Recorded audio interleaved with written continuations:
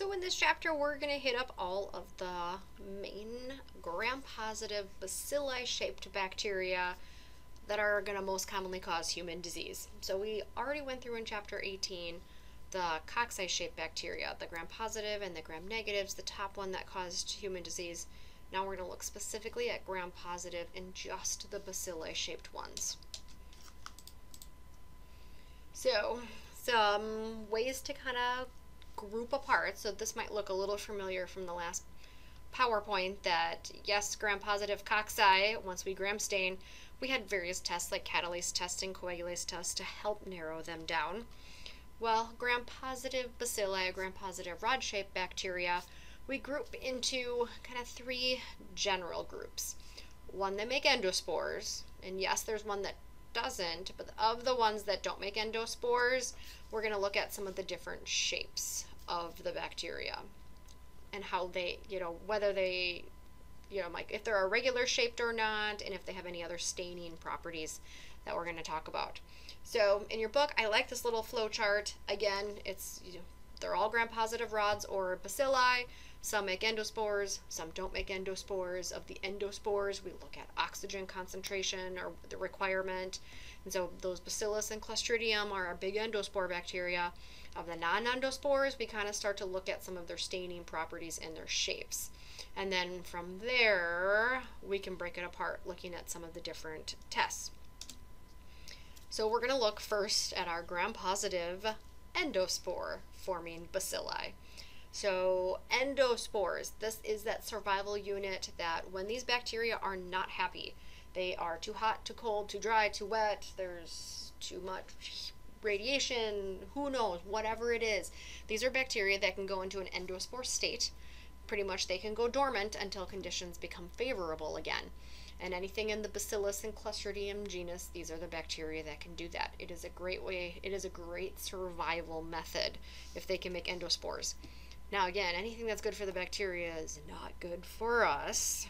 So anything that can make an endospore is going to be harder to kill because you can't just kill them as easy with heat and with UV light and with different types of chemicals. So we're going to start. There are two genus, Bacillus and Clostridium. We're going to start with the Bacillus bacteria. These are all, again, all endospore making. So anything in the genus Bacillus, these are aerobic bacteria. They do make the enzyme catalase, just like some of our staph, but totally different shape. They actually are a source of some of our antibiotics. We can actually get some antibiotics from this particular bacteria because they can inhibit other bacteria but a lot of the bacillus are found in soil. Now, there are two species of medical importance, so they're the ones we talk about. The first one is Bacillus anthracis, which causes the disease anthrax. The others is Bacillus cereus, which is a type of food poisoning. Lots of different bacteria can cause food poisoning. We're going to focus mostly on the Bacillus and anthracis. So, shape wise, they're kind of large, almost block shaped rods, and they really like to hang out in chains They're actually quite pretty. They like to hang out in nice long chains. Sometimes we can actually see the ones that have gone into an endospore state versus ones that are still active. And they Bacillus anthracis has virulence factors, as a lot of the bacteria do, is that it one has a capsule, so it's harder for our, our body to recognize it, and it makes toxins that can cause edema and cell death, which is never good for us. Now, luckily here in the United States, we don't see a lot of cases of anthrax. It's pretty rare. Most of the cases are coming from livestock. This is a bacteria that more than likely gets picked up by working with infected animals. And most cases are in Africa, Asia, and the Middle East. Now, there are three types of anthrax, and it's because you can pick up anthrax, this particular bacteria, in one of three ways. You can either pick it up through contact through skin. You can pick it up by breathing it in, pulmonary, and you can pick it up by eating the bacteria, gastrointestinal. So, depending on how you picked it up, depends on which kind of anthrax you have. The most common, and luckily the least dangerous, is the cutaneous anthrax. Is that those spores, those endospores, get into the skin through some open source, again, playing in the dirt, playing anywhere there might be infected soil, possibly if you live on a farm and have livestock that also may have tested positive. And the bacteria, they get in there, and again, they do have toxins that can cause skin death or cell death, and it can cause these black sores called eschars. Now, luckily, it is the least dangerous type of anthrax. You end up just having localized death of tissues, these eschars, localized death of tissue at the infection sites. Pulmonary is where we inhale those endospores from some type of animal product or soil. So it gets dusty and those spores go airborne and you inhale it. This can become more deadly. Again, rarer, but more deadly is because this particular bacteria then can destroy lung tissue. And if it doesn't uh, destroys enough of it, it becomes deadly. Gastrointestinal is you ate contaminated food. It had this bacteria, whether it was contaminated because it was dirty, but you contaminated it, and yes, those toxins are going to destroy you literally from the inside out.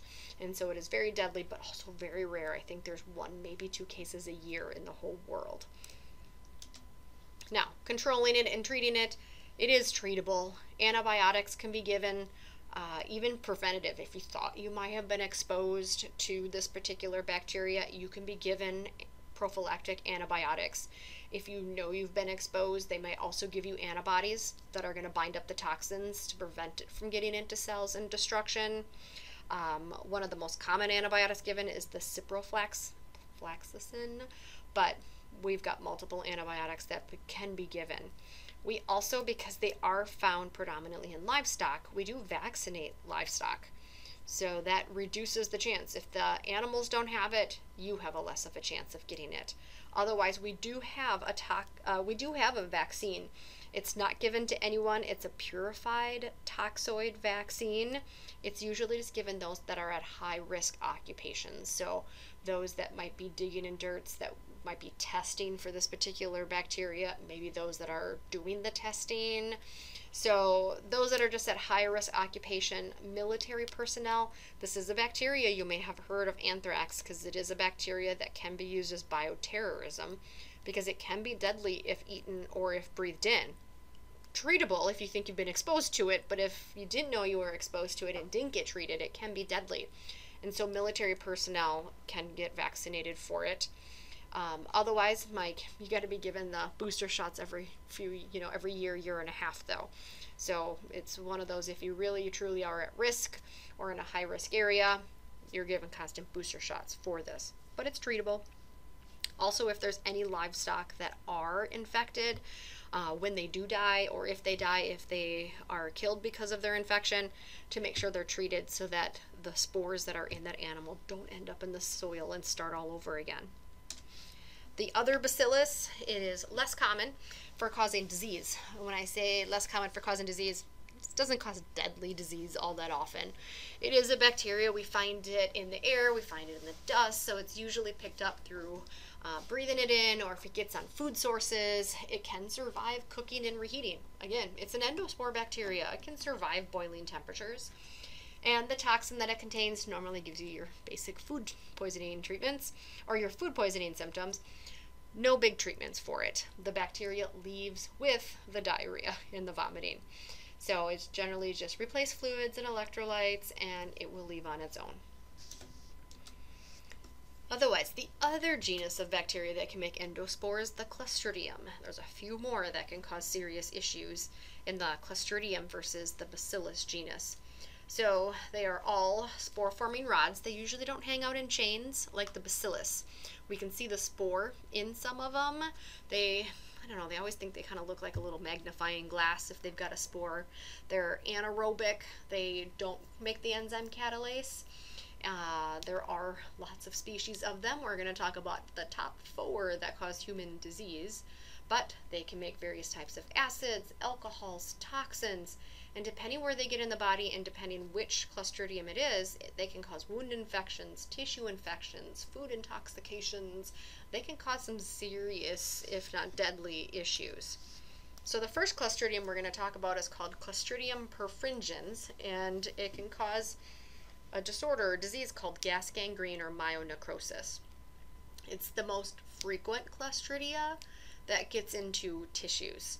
So this bacteria is found in soil, it's found in human skin, it's found in the intestine, and it can be found in the vagina. So it's lots of places this could be part of normal flora. However, this is a bacteria if it gets into an open wound and it gets down deep enough into the anaerobic area because this is an anaerobic organism. So it's got to get down underneath the skin into those anaerobic areas. It will start to grow. It's very happy there. So the big predisposing factors is if you have though any kind of open wounds, surgical incisions, fractures, um, diabetic ulcers, any type of septic abortion, puncture wounds, gunshot wounds, any anything that you've got an open wound that wasn't cleaned properly. This this bacteria has toxins that destroys red blood cells. It destroys tissues. It breaks apart collagen. It breaks apart cells. That's the hyaluronidase. Um, and it breaks apart DNA. It allows the bacteria to move freely around the tissue as it breaks it apart. Now, it is causing death of tissues. That's the necrosis. Myo means muscle. And so this will destroy not just skin, but it can destroy all the way down into muscle tissue. Now, it does produce a very noxious gas as it is eating away at your tissue. I got more pictures. As it's eating away at your tissue, that it's also called gas gangrene. Now, if you've ever had a patient, because I have had students that have had patients before that have had this bacteria, it is a very smelly, smelly gas. So it's very, very stinky. I mean, it is death of tissue, very noxious gas that this bacteria is given off. So this is actually showing some of the bacteria in and breaking apart the muscle fibers. Now, there are two forms of gas gangrene. Uh, some of it just damages the muscle tissue, but the infection remains localized. A true myonecrosis is more destructive and it will spread. It's not just going to be you know, it's not just going to be one toe and it stays put. It's going to start spreading to different parts of the body. That's a true myonecrosis. So it's going to be more similar to that necrotizing fasciitis, that flesh eating disease, that it's truly eating apart the flesh. Now, you know, Mike, other than causing gas gangrene and causing death of tissue, Clostridium perfringens can also cause what's known as Clostridial gastroenteritis. Gastro means stomach, entero, there it is again, entero means intestines, and so this is going to cause more food poisoning type symptoms. So if you in, ate anything that had this particular food, you know, you went to a picnic and that food sat out in a nice hot day, and you ate some of the food because the warmer it is, the more the bacteria is reproducing in that food, and you ate that food it wasn't cooked thoroughly, the bacteria were growing, those bacteria are going to continue. They're to try to grow in your body. They're going to germinate, they're going to multiply, and the toxin and the bacteria that you ate is going to act on the stomach and cause you to have abdominal pain, diarrhea, nausea. Luckily, most people recover just fine as your food poisoning type symptoms. Now, treatment to pre- and prevention of this particular bacteria. Well, one, if it's food, you know, make sure food's cooked properly. Don't eat the stuff that's been sitting on a table at a picnic on a hot day for four hours. Don't do it. Don't do it. Uh, but if you've got full tissue damage, you're going to have to clean that dirty wound. You've got to get rid of any living tissue as much as you can.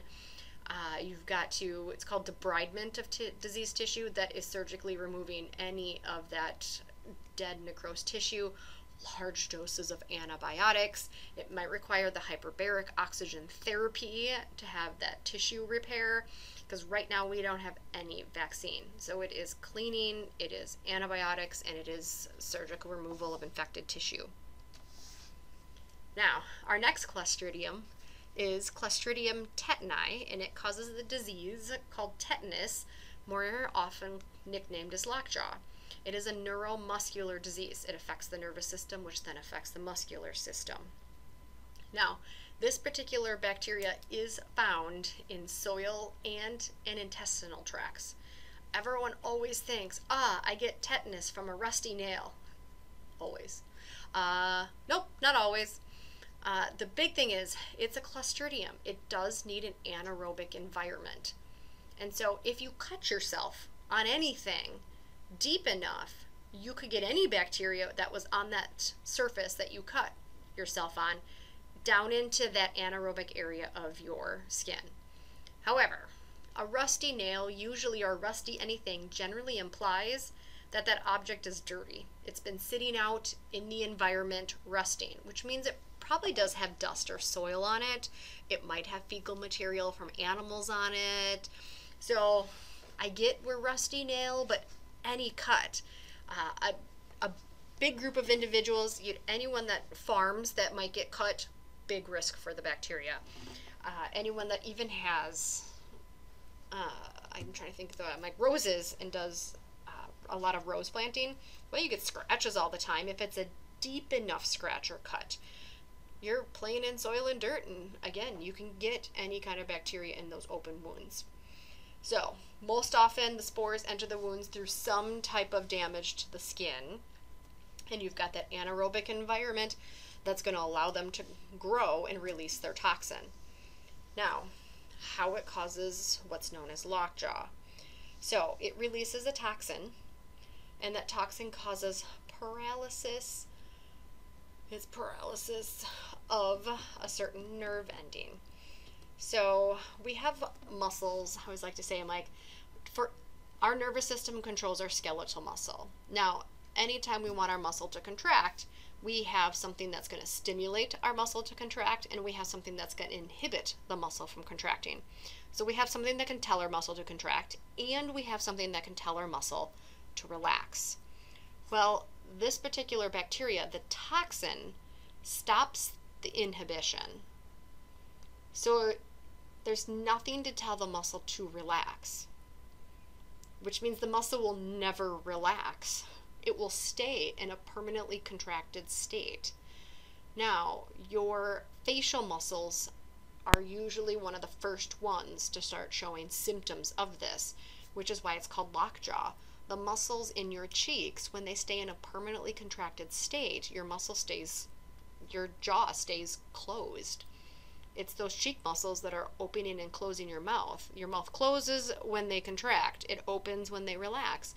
Well, this toxin, it again, it blocks that inhibition of the contraction, meaning there's nothing to inhibit or there's nothing to stop the muscle contraction. It stays in a permanently contracted state. Um, I know I, I don't know if I want to go back. Ah, there we go. I know I had this on that first slide too. That yes, you could hold a baby. That whole baby's body is in a permanently contracted state. That yes, these muscles can contract strong enough, it's been known to break bones. That your muscle contraction breaks internal bones. Now, how it's deadly.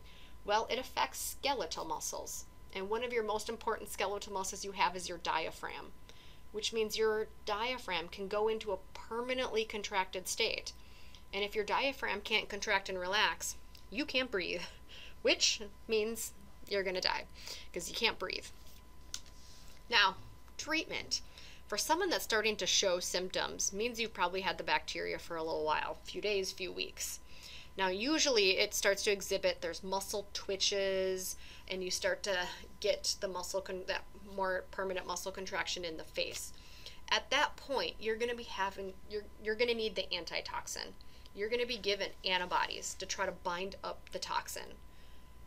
Now, it doesn't help with already ones that are already inhibiting. The hope is that your body can get rid of them on their own, but it can at least stop any additional toxins from binding so it doesn't, the disease won't progress.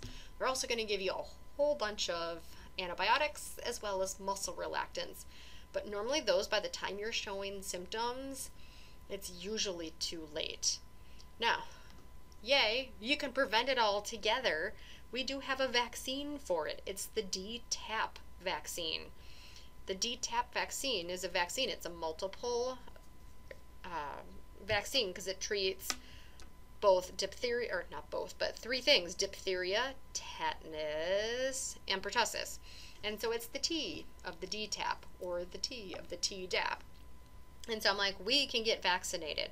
It's pretty rare. There's not a lot of cases of tetanus here in in La Crosse. I just heard about a case a year ago, two years ago, uh, that there was an Amish farmer that had come in. I don't know any more about age. I know it was a male, a male Amish farmer that had come in that was exhibiting those muscle spasms, the lockjaw. Again, a lot of the Amish, they're not getting vaccines, they're not getting booster shots regularly. And yeah, it, they're at a higher risk that they could have had any cut in with the soil and suffered from it. Now, the individual lived but was here in the hospital in La Crosse for I think several weeks. They had to put him into an induced coma. Um, I was surprised to hear that we don't keep this the antibody, the antitoxin therapy here. Uh, it's so rare; it's we wouldn't normally keep stockpiles of stuff that never gets used. But by putting him, you know, lots of antibiotics, muscle relaxants, and putting him into an induced coma, he survived. But it's rare, but it can happen. And again, just get vaccinated and keep up with it, and you don't have to worry about it. The next Clostridium is the one that, out of all the Clostridium, most students are most familiar with because you hear about it, especially if you're already working in a healthcare job. So it's a clostridial disease. It's normally nicknamed C. diff. Again, you're not supposed to shorten the species name. And it's the second most common intestinal disease after salmonellosis. Now, it's caused by the bacteria Clostridium difficile, but I put my red note on here. They have changed the name of Clostridium difficile. There are lots of Clostridium bacteria. We're talking the top four. There's lots of Clostridium bacteria, so they started to try to sort them out and rename them. Now, it was supposed to get renamed like gastroclostridial disease or something like that but everyone got really mad about that because if you would have named it gastro anything, it would no longer be called C. diff. That I think they said it would cost the medical industry, I don't know how many, mil, it was millions of dollars to change all the paperwork so that everything went from C. diff to G. diff. And we don't like to spend a lot of money. So they compromised, and it's now called Clostridioides difficile. So it still gets C. diff just note, this textbook came out a couple years ago. Even, I was going to say, a couple other textbooks that I've previewed don't have clostridioides quite yet. I expect it in the next editions. But just note, if you look up C. diff online, you're going to start to see it called clostridioides. So just a heads up on that. Now, back to my C. diff is a normal resident of the intestine. For a lot of people, this is their normal flora bacteria it is kept in check by your other normal flora bacteria. Now, if this bacteria grows uncontrolled, meaning you got rid of your normal flora for some reason, they do this bacteria does produce toxins that damages the intestinal wall. It causes a condition called pseudomembranous colitis. It's inflammation of the intestinal wall lining, and it causes, you know, it's a not a top cause. It's a top cause, but not a number one cause, but it causes a lot of diarrhea in hospitals. Now, this is an antibiotic related colitis. So it's inflammation of the colon, that's colitis. But it's antibiotic related is because we actually pick it up by taking broad spectrum antibiotics. When you take a broad spectrum antibiotics, you kill the good bacteria that normally keep this one in check, which means you have no bacteria to keep it in check. It's not killed by a broad spectrum antibiotic, and so it is going to start to grow uncontrolled. Now, mild cases, you can just, you, well, one, stop taking the antibiotics. You know, that's what's killing the good bacteria. Stop taking antibiotics, replace fluids and electrolytes. Usually they recommend, you know, yogurt, any kind of probiotics to try to get your good bacteria back. But it's one of the few things that the treatment for a bacterial infection is to stop the antibiotics. This is because we want to stop killing the good bacteria. Severe infections. So they're just not just going away by stopping and trying to get the good bacteria back and replacing fluids and electrolytes. We do have some stronger antibiotics. Sometimes they can have some more serious side effects, so we don't try to treat them unless we have to, but we can treat with vancomycin and metronidazole. Now this is showing kind of what a normal intestinal tract looks like on the inside versus pseudomembranous colitis. That is severe inflammation. It can cause ulcers in the colon. If you have an ulcer, I mean, you're now at a risk for even more infections. You can damage it enough that it could cause a full blown whole ulcer. in the, the colon. So it's going to be painful and it's going to cause severe irritation leading to extreme diarrhea. Now, our third Clostridium is Clostridium botulinum. It causes the disease botulism. It's normally associated with a food poisoning. And so we normally pick it up. The number one way to pick it up is by eating contaminated food. And it's not just the bacteria that you eat that causes all the issues, it's the fact that this bacteria does make toxins. And when you eat something contaminated, you're eating the toxins which cause the damage.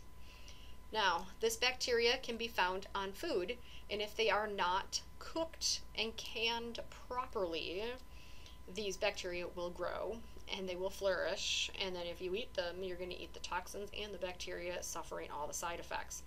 They do love a good anaerobic condition. Now, it's the toxin that's deadly. It's always the toxins that's deadly. Now, why the toxin is deadly?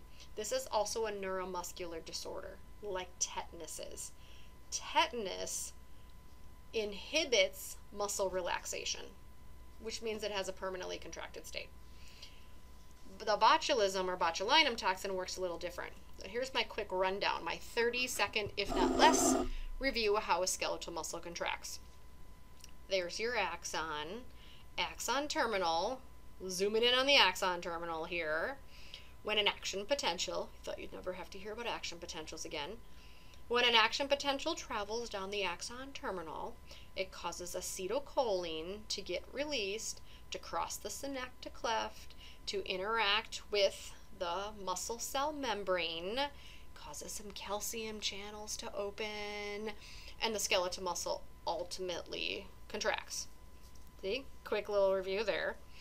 However, this particular toxin covers or stops the it covers the end of that axon terminal and blocks acetylcholine from getting released which means you could tell your muscle to contract but if acetylcholine can't cross the synaptic cleft and make it to your skeletal muscle this skeletal muscle is not going to contract.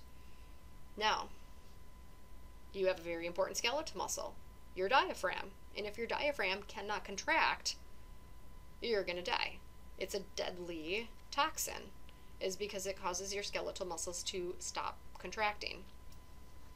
Now, some of the initial symptoms double or blurred vision, difficulty swallowing, that's all muscles, and it's going to be anything that might be caused from neurological damage, anything that affects the skeletal muscles. You might have muscle twitching, you might just feel almost, you know, you can't control your muscles because you can't.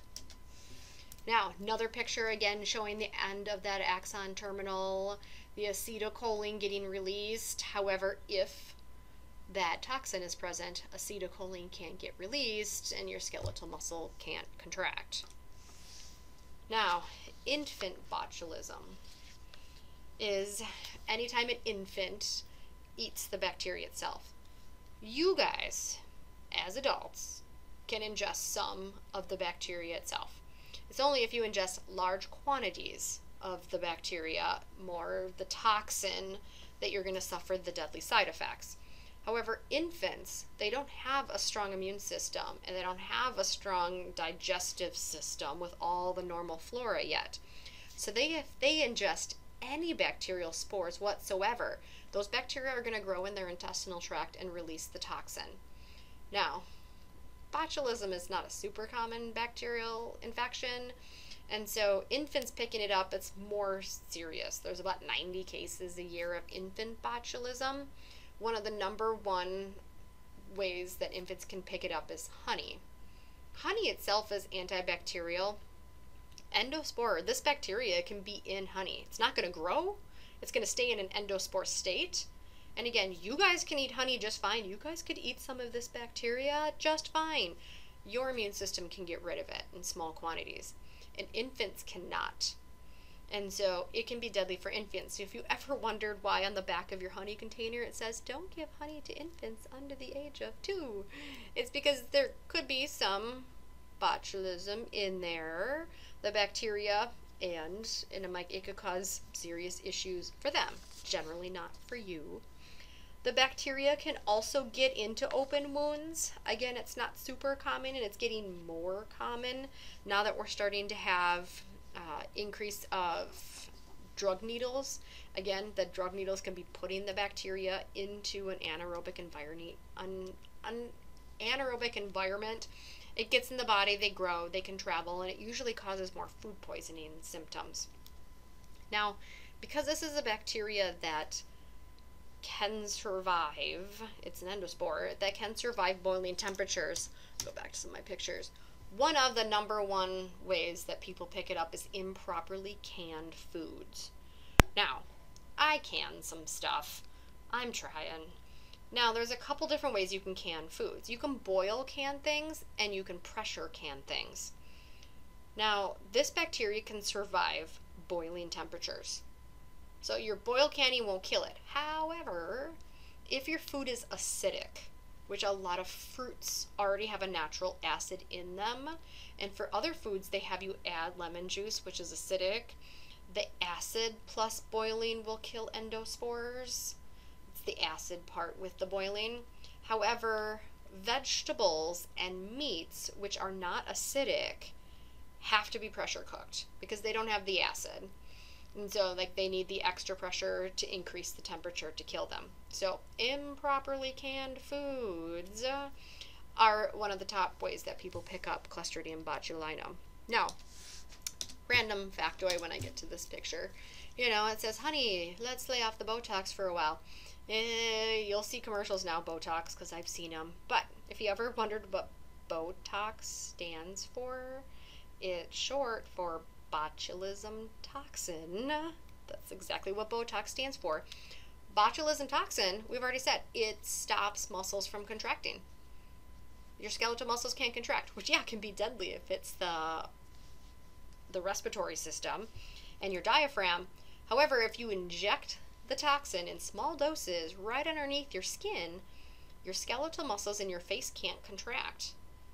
And when you are constantly moving your skeletal muscles in your face, it does cause your skin to wrinkle up, hence wrinkles. So we use Botox. you pretty much are freezing your face. So you can't move your face, but then you don't have the wrinkles either. I don't know which you want, if to look like a statue or, you know, and not have wrinkles or just have wrinkles. Uh, but if, yeah, if you ever wondered, in theory, where the Botox came from, in theory, the toxin should stay put. But if you ever listen to the commercials, because you will now, to Botox, and then they have all the side effects that they list. And if you have difficulty swallowing or breathing, see a professional. Yeah, it means it's spreading and it could kill you.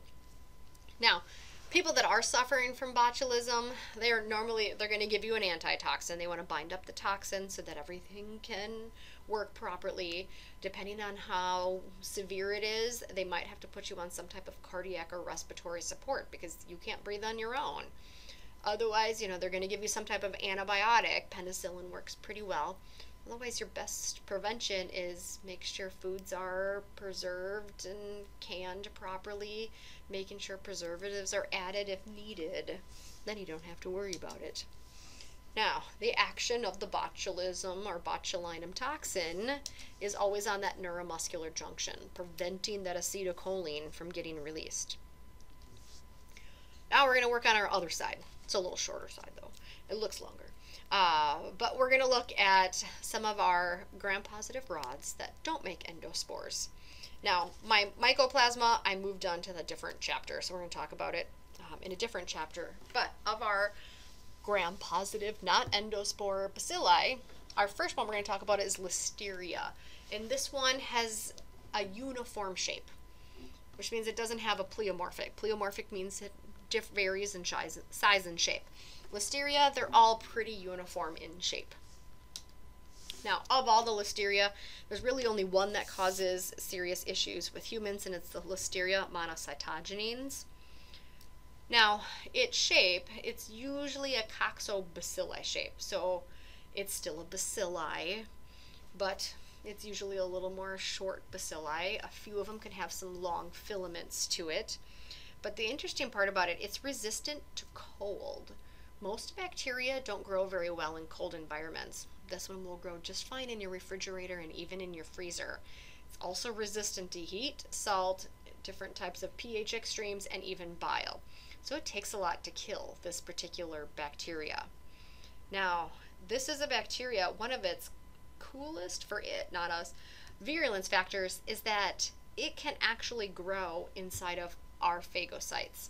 So this is one of our phagocytes, which a phagocyte's job is to eat bacteria and then break them down.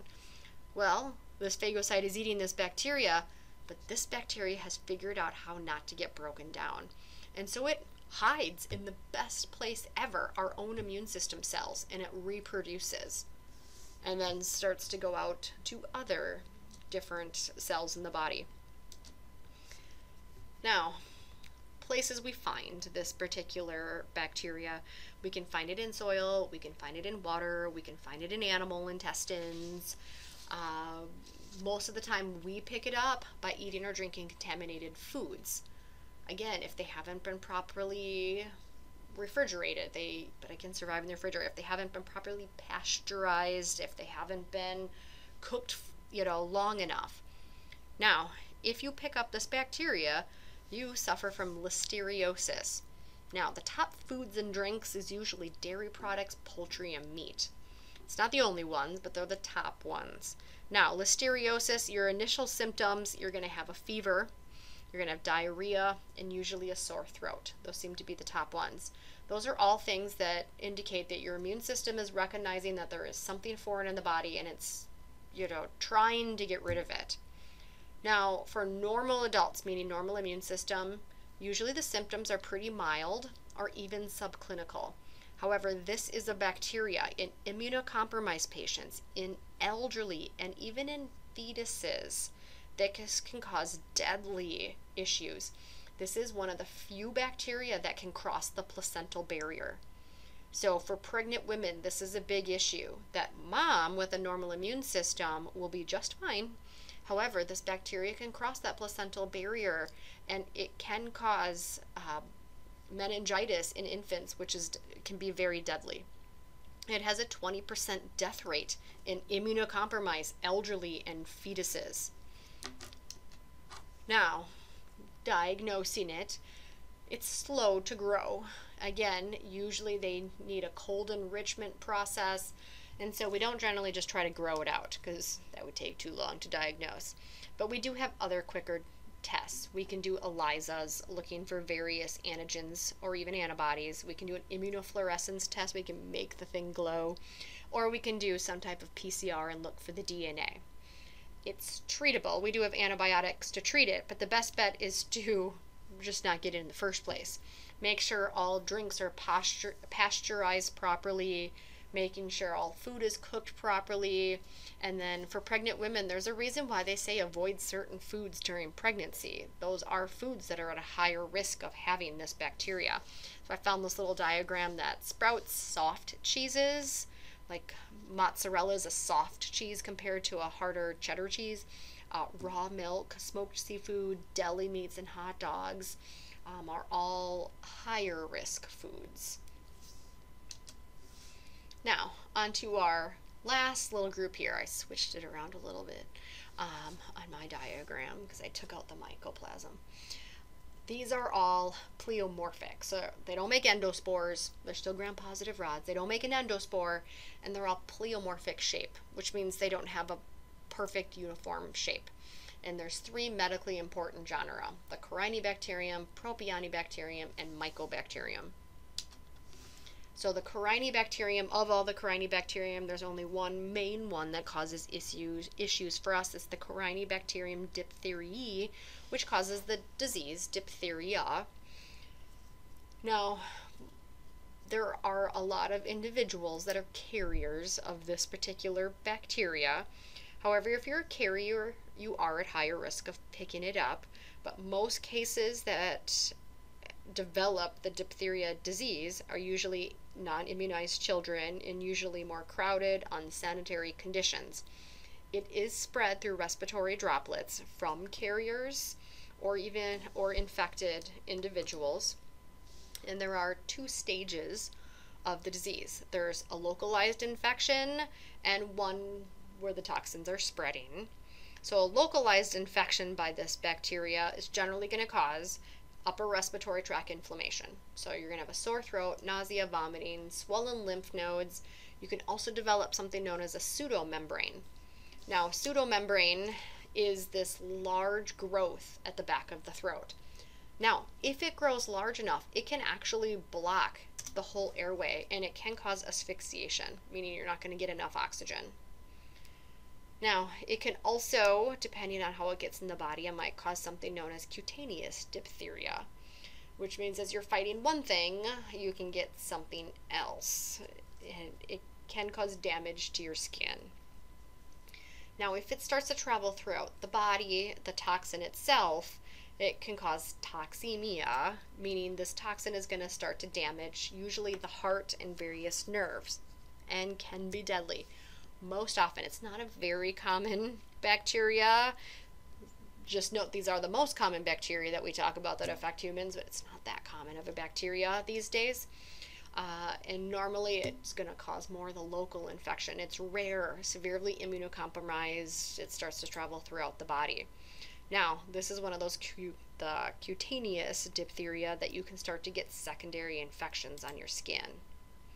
Now, diagnosing for Corynebacterium, one, they can look for that pseudomembrane, that growth at the back of the throat. We can look and see the swelling. We can do gram stains. We can try to look for the gram positive rod that's pleomorphic, no endospore.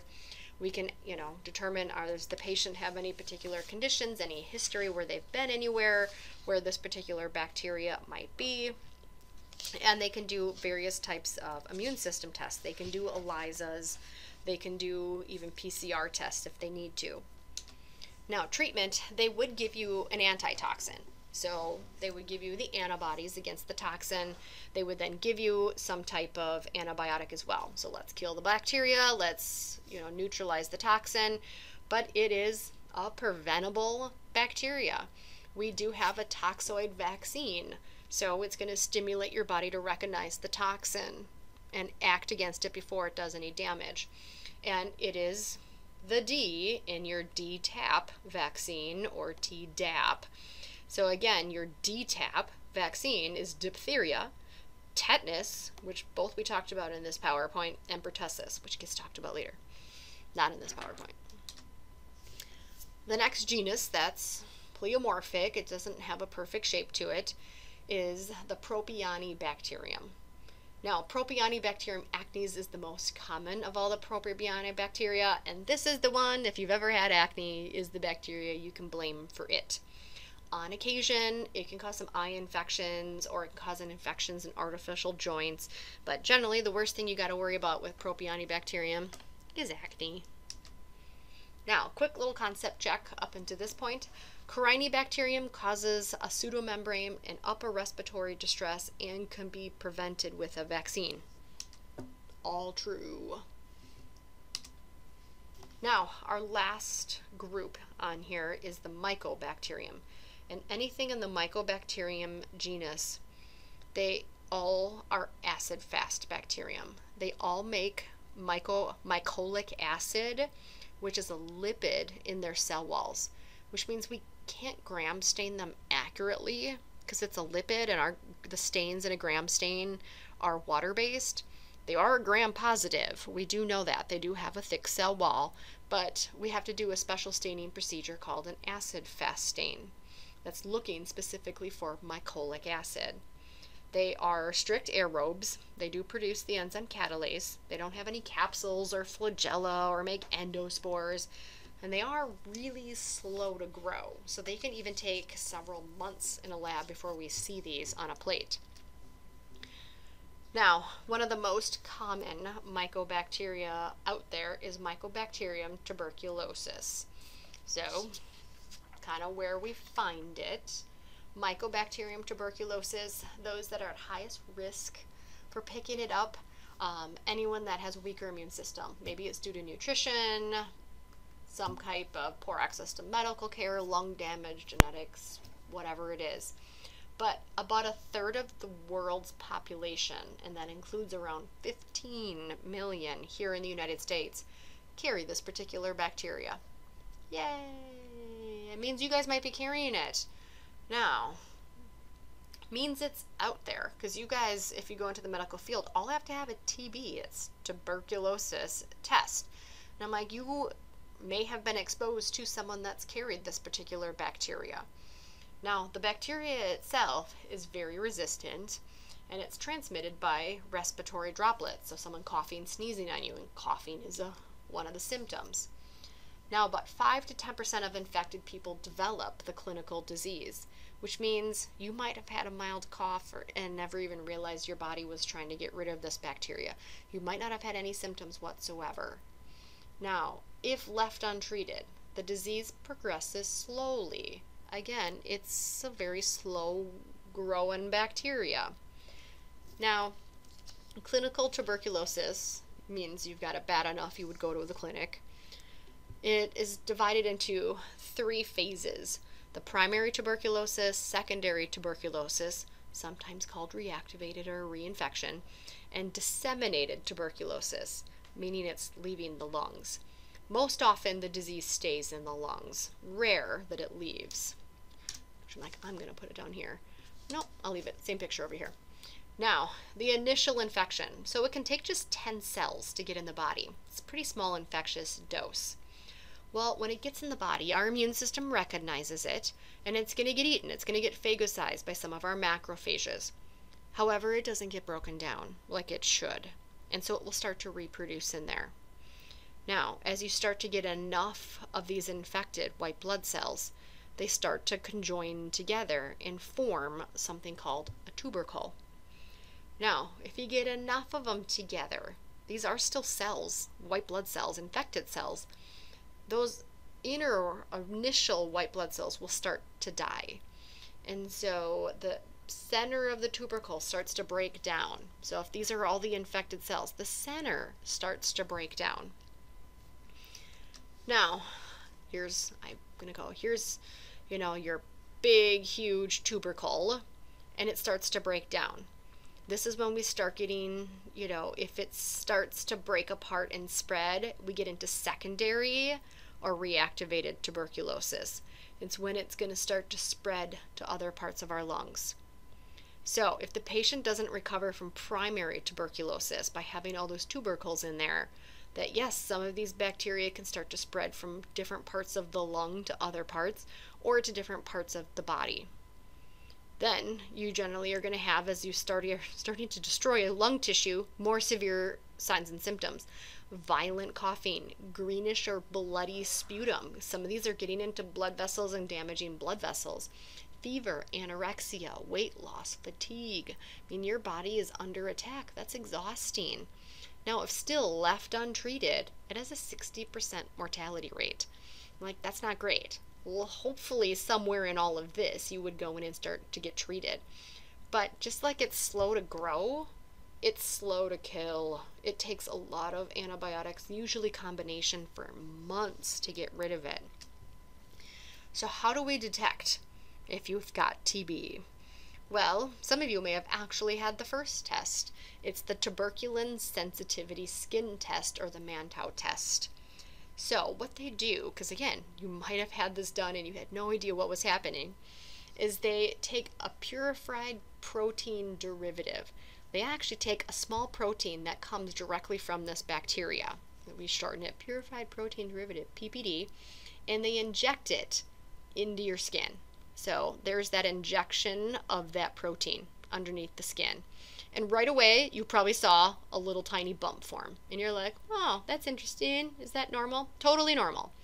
Well, we're going to take a look 48 to 72 hours to look to see what your immune system does to that protein.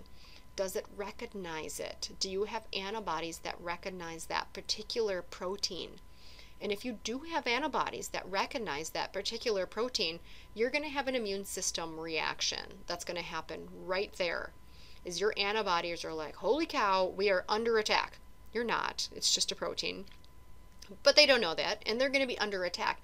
And you're going to see this is if you have antibodies, you're going to see an immune reaction that's going to happen right there. So they're going to look to see what does that little bulge look like 48 to 72 hours? My guess is yours probably just looked like this. It probably flattened out, it went away, it looks like nothing. However, this would be a positive skin test. So they're going to look to see, you know, you know, what is, you know, your size, your weight, your age, and then look to see your reaction. Now, other ways to detect. My note on this for the test if you've ever had a positive, because I've had students that it's come back positive, it does not mean you have an active case of tuberculosis. You could.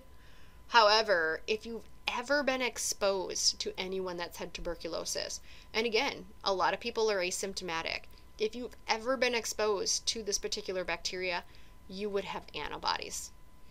And so you would have a reaction. If you had a reaction, you either one have an active TB infection, unbeknownst to you, or it just means you've been exposed to someone that's had it at some point in the past. Who knows, five years ago. But if you end up with a positive skin test, to rule out that you don't have an active infection, they kind of move on to one of these next tests. And so there's a couple different blood tests they can do to look for the bacteria. They might do a chest x-ray looking for active the tubercles. They might do an acid fast stain on your sputum. So they're going to take a sputum sample coming from the lungs and they're going to do an acid fast stain looking for the bacteria.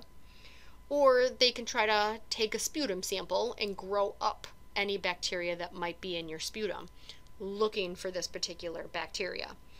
So, the first and the easiest is that quick little skin test. But depending on how that ends up for your reaction, they move on to one of these other tests. Now, again, it's hard to treat. 6 to 24 months of at least two antibiotic drugs uh, from a list of 11 that work against this bacteria. And Mycobacterium tuberculosis is getting more and more resistant to the antibiotics every day. We there is a vaccine out there. Um, other countries are using it. It seems to run into a lot of risk factors, requires boosters, and so it's not commonly given here in the United States. Um, it's still not really commonly given in other countries, but we do have a vaccine out there. Again, if you know you're at high risk, and I'm like, it might be more likely to be given. Now, my last concept check on here tuberculosis. Actually, I got one more. Tuberculosis is spread via respiratory droplets. Again, it does trigger coughing, so it allows the bacteria to go from one person to another. Another mycobacterium, so tuberculosis, most common tuberculosis, but there's another one too you may have heard of, is Mycobacterium leprae. It causes leprosy. It's also known as Hansen's bacillus or Hansen's disease. Now, this is a really picky bacteria to grow. We haven't ourselves been able to grow it in a lab on any kind of media or tissue. The interesting part about it is this bacteria likes lower than body temperature. It grows best around 30, 35 degrees Celsius, whereas your body temperature is 37.